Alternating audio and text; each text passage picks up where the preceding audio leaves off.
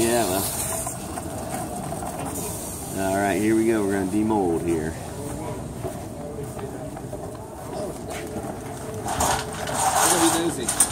No, I, I, believe so, sir. It's um, nice.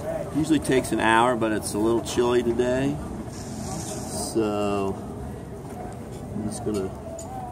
I'm more worried about this area because it was, you know, kind of on a slope. Yeah, unfortunately. But what do you do with it? What's so, so the name of my company is it's Iconic Street Art. So basically, I'm gonna make. Um, so you can follow us on Instagram. I'm just starting out. I'm going down to Miami in a couple weeks, but so I'm gonna make. Um, shirts and bags and all kinds of stuff. Using that as the, so, as the stamp. Yeah. yeah. So this is my mold. So.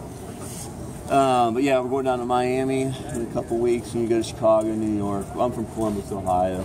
Uh. Just out here with my daughter. It's her spring break, so she's got to be with her crazy dad doing this stuff.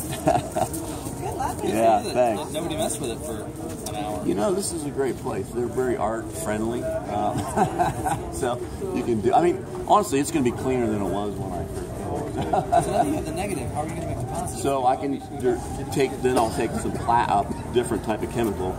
So this is the silicone. Then I'll take actual hard plastic and do the.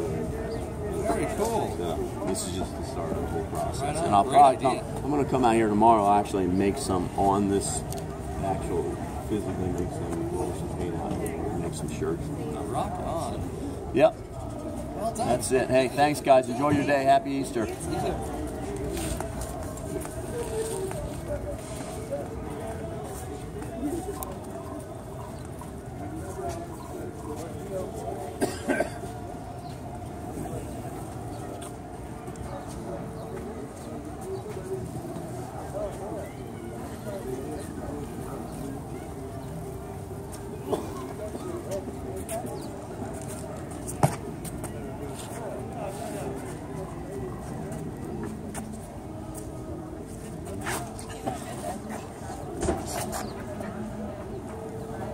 Show checking.